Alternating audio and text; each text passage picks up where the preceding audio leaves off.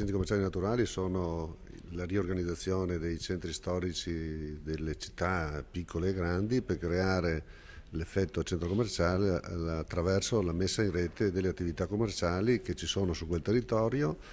e vediamo che quel messaggio che abbiamo fatto anche con il bando del 2008 per favorire questo tipo di sinergie tra comuni e settori del commercio sta funzionando perché c'è una certa vitalità eh, nei territori. Noi riteniamo che le nostre città, eh, piccole o grandi, abbiano delle caratteristiche storiche culturali, delle bellezze naturali da poter essere centro di attrazione. È chiaro che ci vuole una rivitalizzazione attraverso il vissuto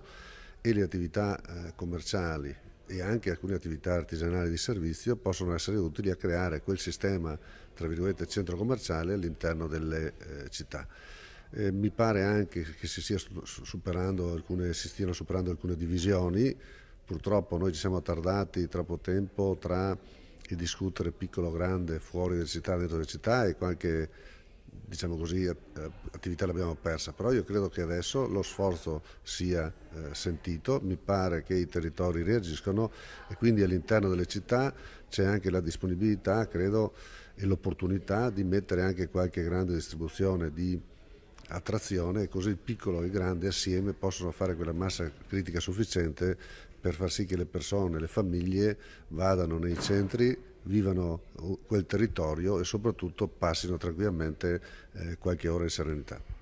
Abbiamo fatto eh, un bando nel 2008 alla fine che prevedeva un triennale e sia per il 2008 che per il 2009 ci sono circa 7 milioni di stanziamento.